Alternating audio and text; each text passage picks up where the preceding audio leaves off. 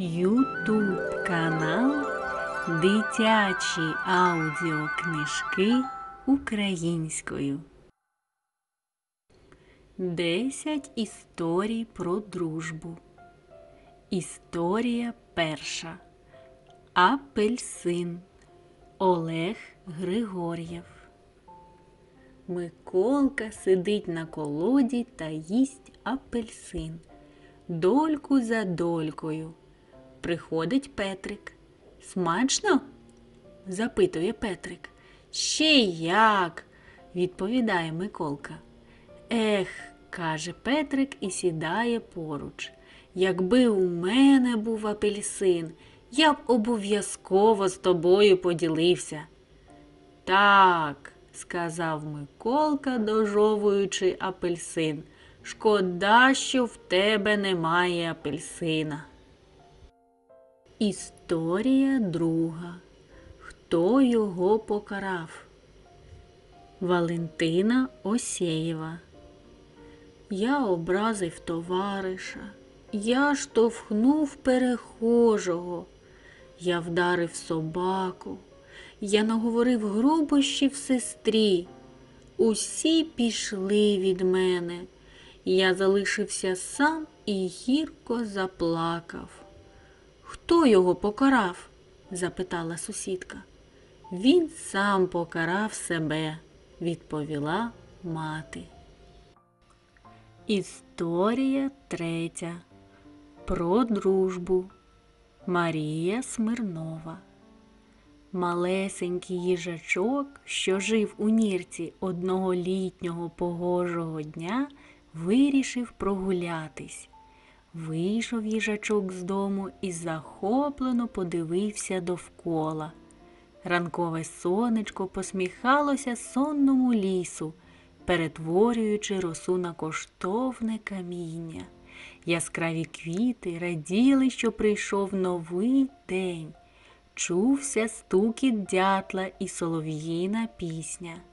Їжачок так захопився, спостерігаючи за такою красою, що й не помітив, як зіткнувся з зайченям. Пробач, я тебе не побачив. Нічого, відповіло зайченя. Мене звуть вухастик, а я круглячок. Нумо гратися разом, запропонував їжачок. Так вони й подружилися.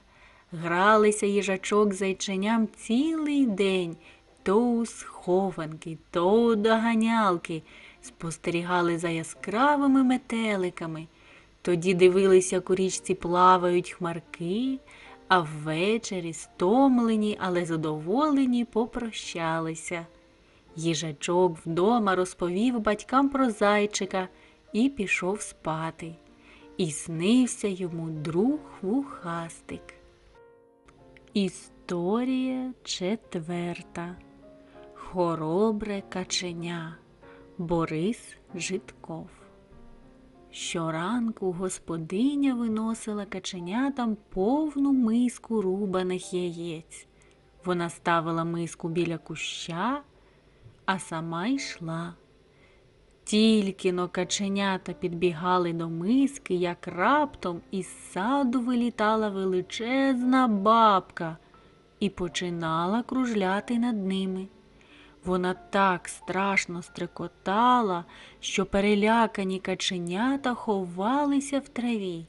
Вони боялися, що бабка їх усіх покусає. А зла бабка сідала на миску, куштувала їжу і летіла геть. Після цього каченята протягом усього дня не підходили до миски. Вони боялися, що бабка знову прилетить. Увечері господиня прибирала миску і казала Певно, наші каченята захворіли, чогось вони зовсім нічого не їдять. Вона й не знала, що каченята щовечора лягають спати голодні. Одного разу до каченят завітав у гості їхній сусід, маленьке каченя Альоша. Коли каченята розповіли йому про бабку, той почав сміятися. Ну й сміливці, сказав він. Я сам прожену цю бабку. Ось ви побачите завтра. Наступного ранку господиня, як завжди, поставила на землю миску з рубаними яйцями та пішла. Ну, дивіться, сказав сміливий Альоша, зараз я буду битися з вашою бабкою. Тільки він це промовив, як раптом заздищала бабка. Прямо згори вона полетіла на миску.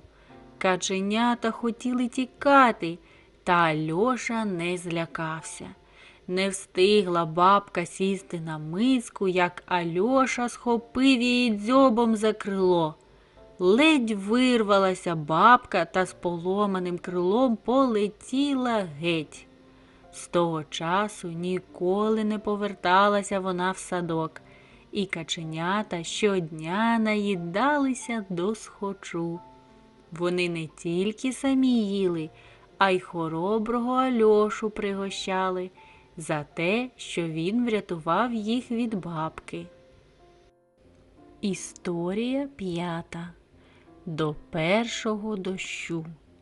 Валентина Осєєва. Тетянка та Марійка були дуже дружні й завжди ходили разом до дитячого садка. Одного разу, коли дівчатка йшли вулицею, почався сильний дощ. Марійка була в плащі, а Тетянка в самій лише сукні. Дівчата побігли. Зніми свій плащ, ми накриємося разом. вигукнула на бігу Тетянка. Я не можу, я намочуся, нахиливши голову в капюшоні, відповіла їй Марійка. У дитячому садку вихователька сказала, як дивно, у Марійки сукня суха, а у тебе, Тетянко, геть мокра. Як так трапилося? Адже ви разом йшли? У Марійки був плащ, а я йшла лише в сукні, сказала Тетянка. Але ж ви могли накритися одним плащем, сказала вихователька та, поглянувши на Марійку, захитала головою. Схоже, що ваша дружба до першого дощу. Обидві дівчинки почервоніли. Марійка за себе, а Тетянка за Марійку. Історія шоста. Кухонний ніж та кавова ложечка. Юліта Ран. Гострий кухонний ніж побачив маленьку кавову ложечку. Будемо друзями, вічливо сказав він. Погляньте но, який я гострий та швидкий. Ріжу навіть повітря. Вжик, вжик. Гострий ніж здавався таким цікавим, таким небезпечним.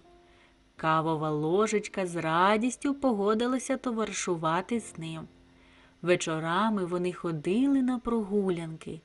Яка ти кругленька, казав ніж, тобою навіть неможливо порізатися. І не треба, тихенько посміхалася ложечка. Мене торкаються губами, коли куштують каву. Мною розмішують цукор у філіжанці. Я й маю бути круглою та плавною. Ніж їй заперечував. Гострим бути краще, ніж тупим, або м'яким, або круглим. Одне слово, гострим бути краще, ніж будь-яким іншим. Ложечка не хотіла втрачати дружбу з ножем, але якщо йому подобаються гострі, а сама вона тупа, тобто кругла, що ж робити? Лишалося одне змінитися. З того часу почала вона точити свої краї опідвіконня, намагаючись їх загострити. Аж одного разу кавова ложечка і справді стала гострою. Тільки кухонний ніж цим був страшенно незадоволений. Раніше я вихвалявся гостротою, а ти слухала і захоплювалася мною. А зараз ти й сама така ж. Про що нам говорити? І як ти будеш мною захоплюватися? Кавова ложечка хотіла сказати, що вона зробила це заради їхньої дружби, але не змогла вичавити ні слова і почала плакати. Ніж пішов, а за кілька днів уже товаришував зі столовою ложкою. Кавову ложечку більше не брали на роботу. Кому ж сподобається розмішувати цукор ложкою із загостреними краями? І вона стала лопаткою для землі, пересаджувала малесенькі кактуси з одного горщика в другий. Їй подобалося її нове заняття, але інколи вона тяжко зітхала, як згадувала часи, коли була сама собою, круглою кавовою ложечкою. А все чому? казав мідний чайник, переказуючи цю історію новим чашкам і блюдцям, бо дружба це цінувати себе та іншого такими, які ви є, а не змінюватися, щоб бути схожим на друга. Чашки і блюдця дзвінчали у відповідь, погоджуючись. Історія сьома. Дружба. Українська народна казка. У затишному лісі влітку всі звірі відпочивають, дружать між собою. Проте лисичка з вовком не змогли здружитися між собою. Вони не віталися і все робили на зло один одному. Лисичці не подобалось, що таємниці, які вона розповідала вовкові, майже всі звірі знали. А гріхи у неї були, та ще й величенькі.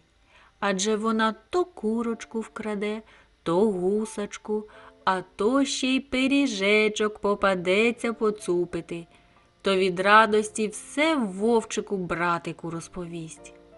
Одного разу, близько до обіду, всі звірі пішли збирати ягоди, горішки, гриби, а вовчику захотілося позбиткуватися з лисички.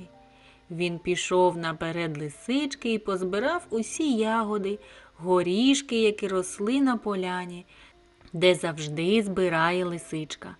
Лисичка розгнівалася, пішла на вовчикову поляну і в нього все позбирала. Дуже довго вони так воювали. Одного разу під час такої роботи пішла велика злива. Треба було ховатися від дощу. Всі побачили велике дерево. Це був могутній дуб, до якого звірі побігли ховатися. Всі тулилися один до одного, щоб не намокнути. Довелося й лисичці з вовчиком стати поряд. Дощ був сильним, і щоб побороти страх, щоб було веселіше, звірі почали розмовляти і розповідати веселі історії. А білочка запитала у вовчика Чому ти не розмовляєш з лисичкою? Вовчик все їй розповів. Білочка дала корисні поради йому, він ними скористався. Підійшов непомітно до лисички і сказав їй у вічі Лисичко, вибач мене, будь ласка, я більше не буду розповідати твої таємниці. Будь ласка, вибач. Лисичка вибачила йому, і вони знову помирилися. Закінчилася злива, вияснилось, сонечко засвітило. Вовчик з лисичкою разом пішли додому. Наступного дня вони гралися разом, ніби нічого й не трапилося. Більше не сварилися, досі дружать. Ось така у них дружба.